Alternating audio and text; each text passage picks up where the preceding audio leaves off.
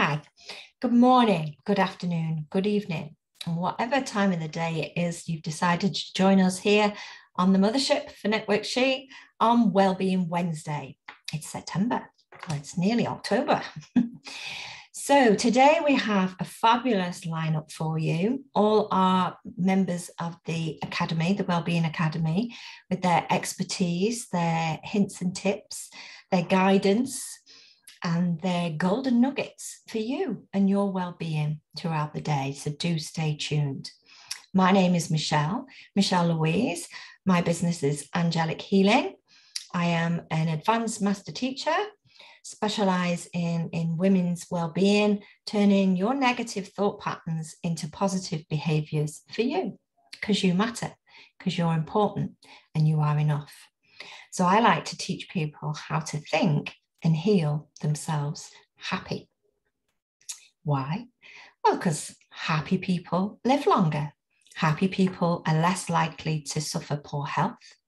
Happy people deal with stress more effectively, get more involved in their community, have lots of friends, and generally have a happy lifestyle, a happy lifetime. Happy people glow differently from the inside out.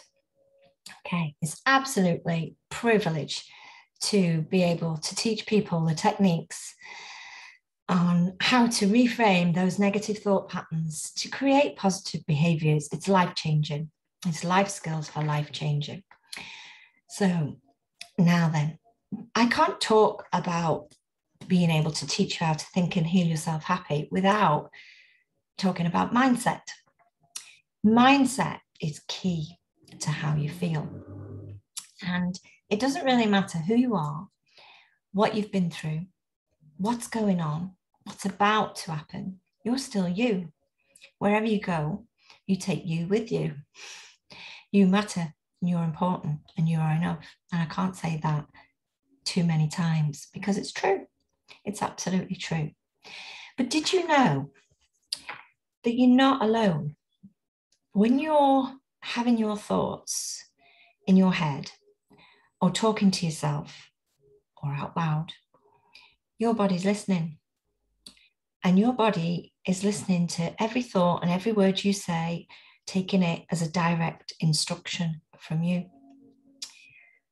Now, how does that make you feel? What kind of things do you say to yourself to change the way you feel? Do you even realize that what you are telling yourself affects the way you feel? And it does. Being a hypnotherapist and an energy healer, I'm absolutely fascinated with the mind body connection.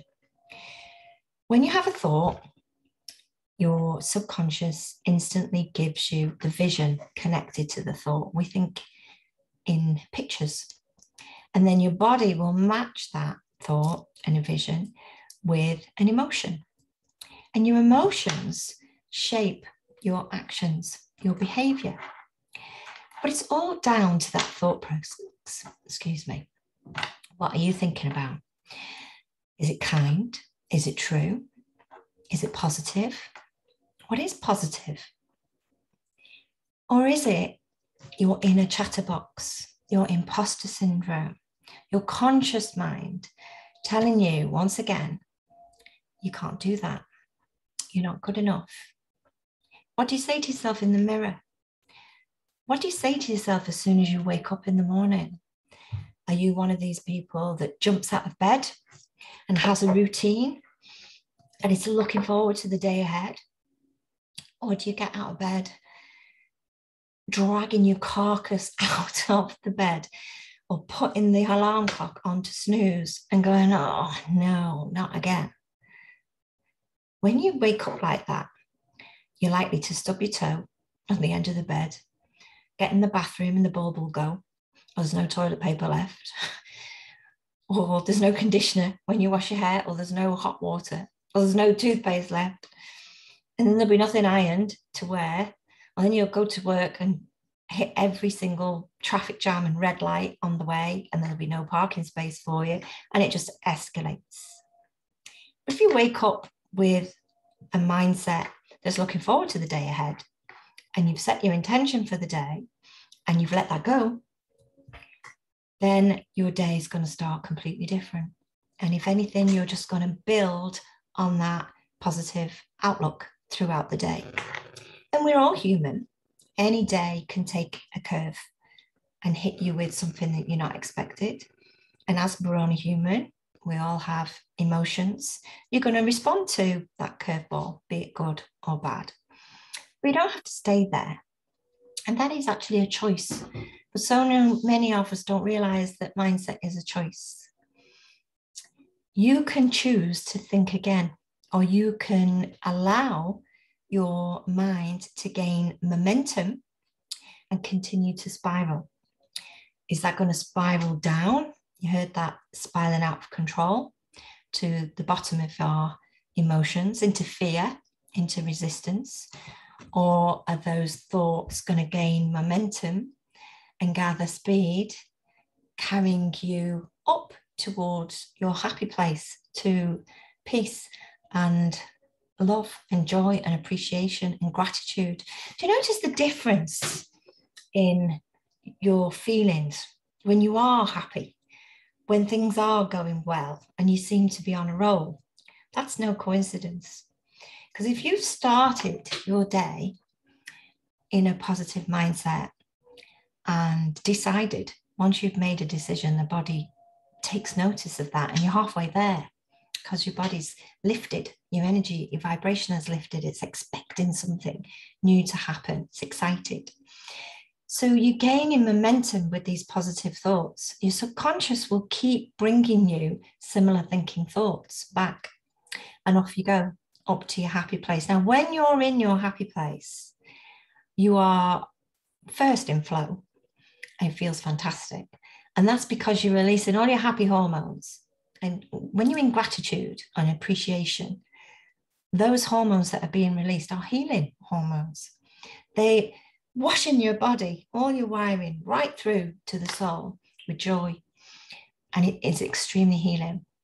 But at the same time, if you've allowed your thoughts to gain momentum with low vibrational energy, recalling things that don't make you feel so happy, then that hormone that's being released doesn't feel so good.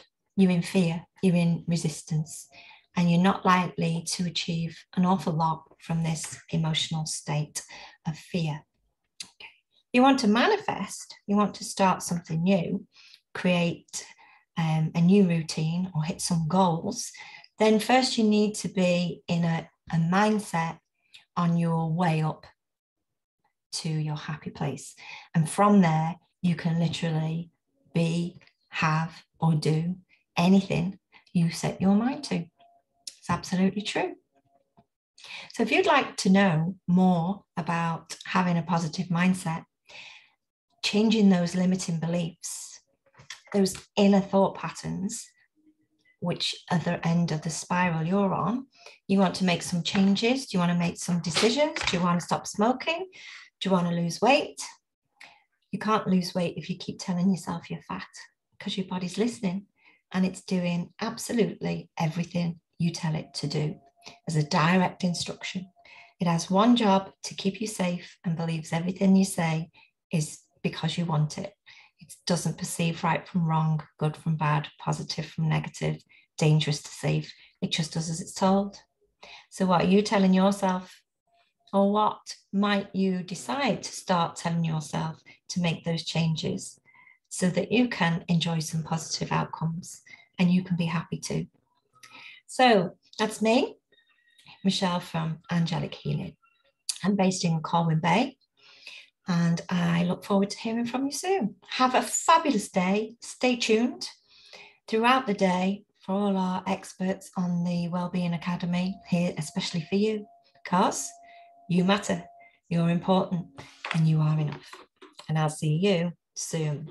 Bye.